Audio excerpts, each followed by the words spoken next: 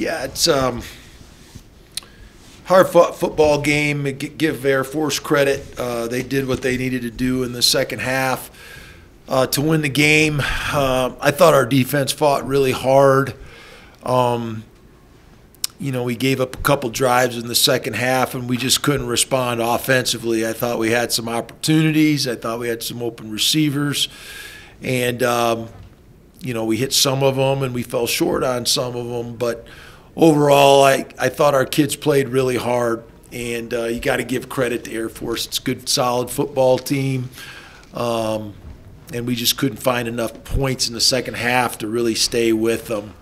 Um, you know, we'll learn from this game. We've got a short week this week. Uh, we still got a lot of football left to play, and we got a big, big game this Friday. So we're going to have to get over this one quickly.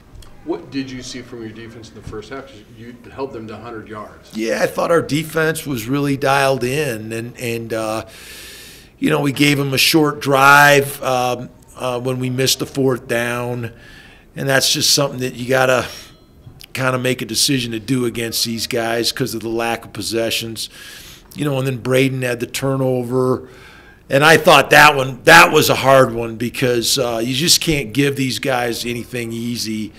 Uh, it's very difficult to make up the possessions, and so, you know, we put our defense in a tough position there. Um, but overall, uh, you know, I thought our defense played very, very well, especially the first half. You did say you felt like you were going to have to be a little bit more aggressive, and you showed that. I mean, you went for it on fourth down on your first drive. Also, you kind of fell with your backs against the wall a little bit there in the fourth. Yeah. Uh, is that just the way you have? How how did their style play affect how you play? No, I just think it's just kind of the qualities of this game. You have to understand that there's very few possessions that you get when you play Air Force, and so you have to try to keep drives alive uh, to keep their offense off the field and and also give yourself a chance to score. I mean, you typically when you play these guys, you get about two possessions a quarter. And so if you don't take advantage of that and score, you know, I think in the first half we had six possessions. I think we scored on half of them, and um, in the second half we did not. So that was the difference in the game. But you have to take calculated chances against this team, and and uh, or otherwise you're going to run out of time. Is it kind of like you say, just everything is magnified with this? Like you say, you know, one turnover, you know, in typical game, typical game isn't huge, but in this, it's really Yeah. magnified. Well, just because of the limited possessions you get, you know, and, and um, you know, normally we'd get about 16 opportunities, and you only get about eight in this game, and so that's why, you know, when you don't take advantage of one, it really it's hard. Or if you turn one over like we did, it's hard to catch back up, and you know, and they kind of got back on schedule in the second half, and and um, um, you know, and that's what makes it tough to play this team. There's the weird, I guess, I don't know any other way to put it, the snowball penalty. Kind of what what's the conversation like, and I guess how do you guys try and I deal couldn't with even that when obviously I couldn't even figure out what they were talking about, you know, when they came over and started talking. And so, um, I don't know. You have to ask, you know, Mike DeFee about that in the conference. Do you, do you feel conditions, especially second half, is snowing pretty hard? Did it affect Brayden throwing much? Do you? You know, it just it, it affects the ball handling sometimes and his feel. Uh, a couple of throws that he overthrew, he would normally make, and the ball's just kind of coming out of his hand funny late in the game. And you know, sometimes that happens when you know when you get weather and bad weather and snow, and you know it's it's not always the same.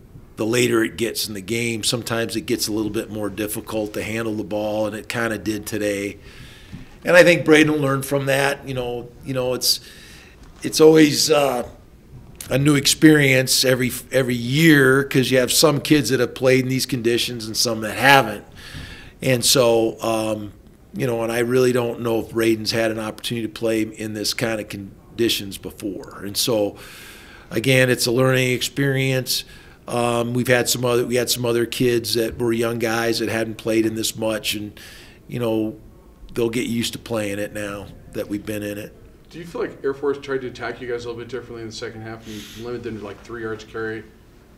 seven yards carry in the third quarter alone. Yeah, they they did. Uh, they they played a little bit more coverage the second half um, than the first half after they got ahead, um, but not really. You know, we had our opportunities to execute. We had a couple guys that we had open that we we didn't hit, and had a couple more plays. They pressured us and got some pressure on the quarterback with some base base rushes. It wasn't any any fancy blitzes or anything, and so we had to look at that and see how we can do a better job there.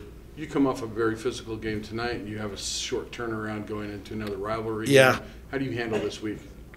Um, you know, we have a plan for the short week. You know, we basically eliminate a day of practice and we accelerate our, our game plan. And so, you know, the most important thing on a short week is to be ready mentally and um, and let your guys get physically ready to play. And so we won't bang them a lot this week.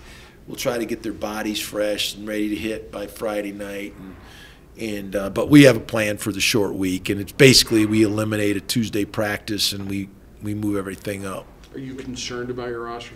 You had some key players leave the game tonight. Everybody okay? No, I'm always concerned about our kids being healthy and ready to play, and you know when you got good players dinged up, it's it's always a concern. But you know it's we're not the only team like that. Every everybody this this time of year gets bumps and bruises and dings, and so we recognize that, and we know we got to, you know, hopefully we'll get our guys back. Um, you know, Tory was was pretty beat up going into this game, and and uh, you know, I I just give him credit for being out there um, and and playing as hard as he did, and he's such an unselfish kid and he wants to do what he can to help the team. And so, you know, he wasn't 100% tonight when he started the game. And we've got several guys like that, and that's that's part of the sport we play, you know. And so, um, we got some pretty courageous kids, and and um, you know, I think hopefully we'll continue to get them back and get them back out there. When you took the job, one of the things you highlighted was uh, CSU had finished seasons poorly, poor Yep. What gives you confidence that this team will, you know, push well in the final month? Well, I I haven't seen any quitting in our team, you know, and and um, you know we haven't always played as consistent we as we like, but I haven't seen any quit in our guys, and and I don't just walking out of that locker room and hearing our captains talk, I I'm feeling confident that we're going to go back and ready to go to work tomorrow. So. Um, I'm excited about the opportunity we have. We still can accomplish an awful lot, and um, we're just looking at it one game at a time. You know, we got a, another rivalry game. I think we played an, uh, a pretty uh, exciting schedule and the fact that every game is very important, and this week will be no different. Thanks.